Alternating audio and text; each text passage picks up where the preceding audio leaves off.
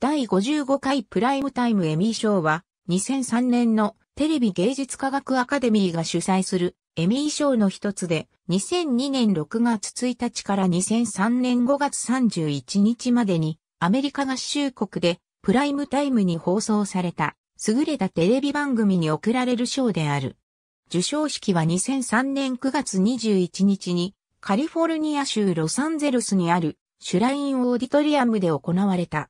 1975年、1998年に続き、史上3回目の司会者不在の授賞式となった。アメリカではフォックスが生中継で放送した。主要部門以外のプライムタイムクリエイティブ、アートエミー賞は9月13日に先行して発表された。主要部門の最多ノミネートは、ヘイ、レーモンド、ザ・ソプラノ在州のマフィア、ザ・ホワイトハウスが、それぞれ10部門、6、フィートアンダーが9部門と続いた。主要部門の最多受賞は、ドアトゥドア、バックに愛と真心を、ヘイ、レーモンド、ザ・ソプラノ在州のマフィアのそれぞれ4部門だった。ザ・ホワイトハウスは4年連続でドラマ部門作品賞を受賞し、同部門の受賞回数の最高記録を持つヒルストリート、ブルースの4回に並んだ。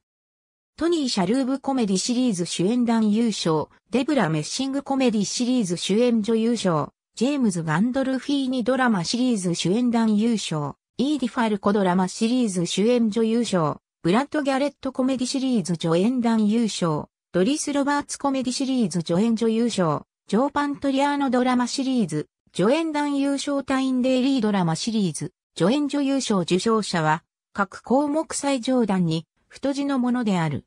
なお、カッコはアメリカ国内での放送権を持つネットワークであり、制作は異なる場合がある。数字は主要部門からの合計で、プライムタイムクリエイティブ、アートエミー賞は含まない。数字は主要部門からの合計で、プライムタイムクリエイティブ、アートエミー賞は含まない。ありがとうございます。